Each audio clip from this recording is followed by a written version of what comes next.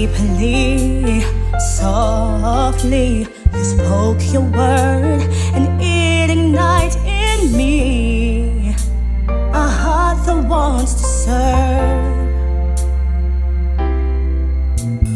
Gently and lovingly, you enter my heart, so it ignites in me power and authority. Just like you did for Elijah, when he faced those men of Baal, let me call down fire. When the enemy's at hand. And as you did for Moses. When he parted the Red Sea, Lord, give me that grace, release the fire